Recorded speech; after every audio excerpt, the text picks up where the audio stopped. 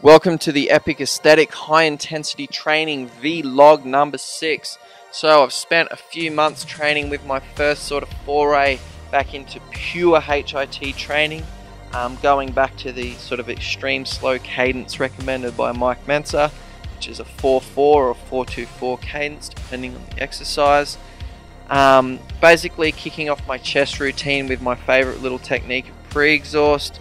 So, I'm using the incline dumbbell um, before a incline hammer chest press. So that's an isolation exercise supersetted with a compound move. And what that basically achieves is, for me, my chest I've always found quite hard to develop. And the reason being that when doing a lot of pressing movements for the chest, I find that, you know, my shoulders and my triceps being the weaker, smaller muscle always seem to sort of get taxed first. And, and my chest muscle has a lot more sort of ability in it to go further, but because the weak link in the chain of the triceps and the shoulders are giving out on my chest, I'm never able to sort of fully develop my chest. So, what I do to get around that sort of biomechanical um, limitation here is I use an isolation exercise prior to a compound lift, and that really helps sort of make sure that, that during that compound lift, my, my chest is pre exhausted fresh muscles of the arm, like the shoulders and the triceps, when they come into play, um, mean that when I fail in the chest, it's the chest that fails first before my triceps and shoulders. In fact, it's basically only my chest that fails. My triceps and shoulders, um, when doing the second exercise, are basically just doing a warm up set um, for them. But the chest muscle itself, having been pre exhausted, is getting absolutely annihilated and taken to failure. So that's basically the premise behind the pre-exhaust technique. So with my form, you'll see that I've shortened it quite significantly, performing perhaps only 70% of the stroke. And what that does is make sure that the load is always on the chest muscle. If you bring the dumbbells together above your head, you shift all the weight off your chest and it sort of sits on your delts and it'll sit on your triceps, but not on your chest. So shortening that range of motion to the effective sort of regions of chest contraction a really effective way to, to tweak that exercise. Um, immediately upon failure here, I move to my compound lift of the hammer strength incline press. Um, I'll point out here my right hand shoulder is, is drifting up quite dramatically, and basically, I wasn't mindful during this set of my form. I just sort of started pushing the weight, and so in, in future videos, I, I hope to sort of correct that problem um, but I like to keep it in there because you can learn a lot from people's mistakes as much as you can from them showing you sort of ideal form week to week. So that's something I need to work on. So 6 to 10 reps on the first exercise and just a few reps, like 3 to 6 reps on that second compound lift, are enough to sort of finish off the chest. Here you'll see my partner hopping around to the back of the machine. Um, because this is a chest and back combo machine, um, the back handles sort of act as a really good lever to do negative reps. So my partner pulls those levers down, which enables me to sort of complete the positive portion of the lift. And then I do some slow controlled negatives to really tax off the chest. So three functions of the chest muscle or any muscle are positive contraction, a static hold, and a lowering or negative phase. So if you toast off those three functions, that's what I guess would describe as, as total failure of the muscle. If you stop a rep short in a conventional fashion after you can't lift it anymore, well, that's only just positive failure. It's not complete failure. Um, but one of the dangers of, of, doing negatives too often and too regularly is that you can overtrain those muscles. So use them sparingly. So um, sometimes you'll see me do them, sometimes you won't. And basically, I'll just go by, by how good I feel on the day, whether I want to throw them in there or not, how keen I am, or how rested I am.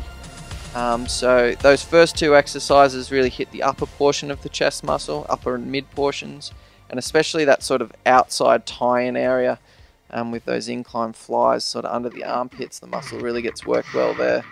Um, so I shift to a dip now so that I can really target the sort of lower or, or bowl scoop part of the chest, you know, that, that sort of part under the nipple that you want to sort of build out so it's flooded with that sort of Arnold Schwarzenegger swollen look. Um, so this exercise is a really good old school basic exercise for targeting the lower chest. I find it a lot safer than a decline press and, and it has a better range of motion. And again, you see me throwing in a few negatives at the end after I've achieved positive failure. So once I can't complete a four second negative on these negative only reps, I finish the set having taken the set to complete failure. Okay, so now to target the sort of inner part, inner lower part of the chest, I do some cable flies.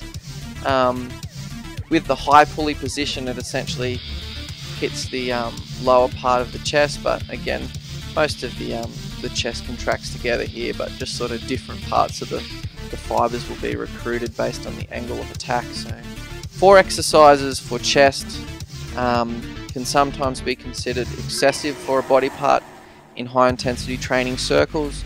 Um, I'm a bit wary of it myself, but it's just something I want to try and see how it goes.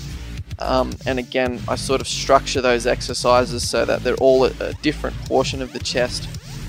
Um, because if I sort of sat there and, and did incline dumbbell only, an incline press, and then incline bench press, you know, I could build a really big upper chest, but um, I wouldn't be able to develop the entire chest, especially the lower regions of the chest, if I didn't, um, I guess, include those different angles. So um, just something I'm playing around with. I still don't think it's excessive volume, you know. Essentially, I've done four sets to failure for the chest, um, which is incredibly low volume when compared to sort of traditional training methods in the gym. Um, but I do feel that if I'm not recovering week to week, um, I may take out one of the exercises. But um, as it stands, this is the routine I'm going to do and monitor for feedback. So with the form here, just a bend in the elbow, try and maintain that bend all the way through the lift, 424, and really pose the chest in a contracted position for two seconds to, to, to bring out that inner part of the chest. Um, some people don't really believe you can kind of spot target your development of your muscle, sort of suggesting that the different exercises just contract all of the chest regardless. But I think you know, anyone with experience in the gym really understands that, that different angles um, on muscles, especially like the back and the chest, um, really do affect the development. I mean, it's not like you can absolutely control and, and detail your muscle like a sculptor, but you can definitely enhance and, slightly change the shape of your muscle by, by choosing different exercises. Um, so here I'm starting my shoulder routine because I've already done all that pressing in terms of the hammer press and the dips, it's really unnecessary for me to sort of do an overhead press maneuver straight up. The anterior head's already sort of sufficiently warmed and, and, and getting fatigued. So I pick an exercise here that targets the side head. So I pre-exhaust the side head or the lateral head of the delt and then I move to the overhead machine press. So when I move to that overhead machine press in a second, um, the side head of my delts are going to be pretty much fully fatigued, almost finished off. And then by adding that compound move, I've got the front delts coming into play, a bit of tricep activity coming into play, and that's going to really finish off the shoulder as, as far as um, hitting the sort of side and front heads of the complex.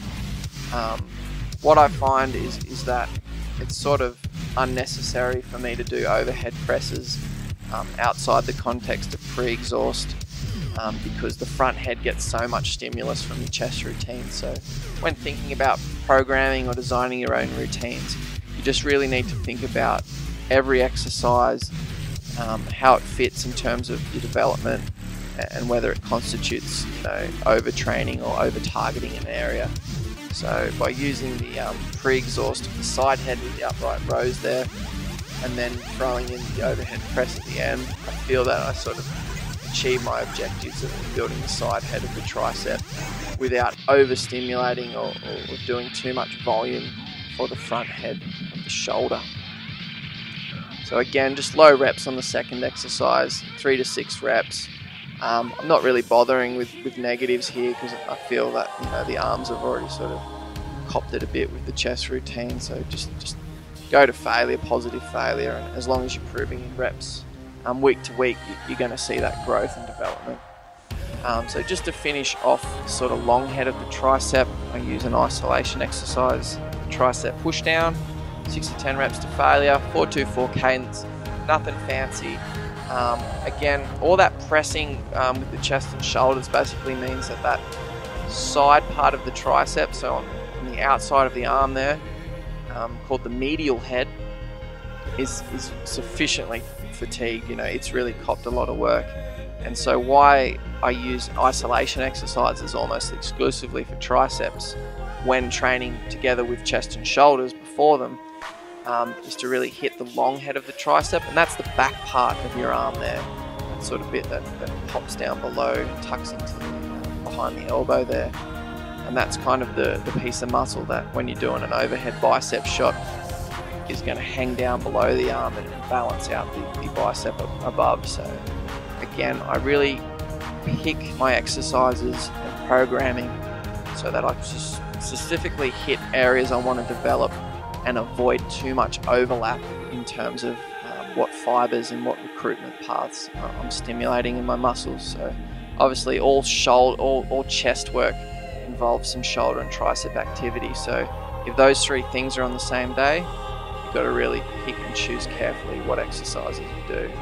So just a little bit of awkward posing on the internet as labeled um, just to see how my development's coming along.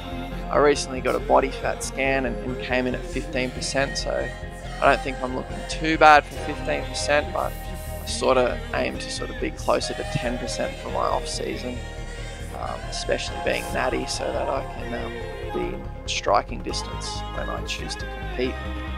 So um, thanks for watching everyone. I hope you're enjoying the videos and, and please feel free to ask questions comment and um, like, share and subscribe. Peace.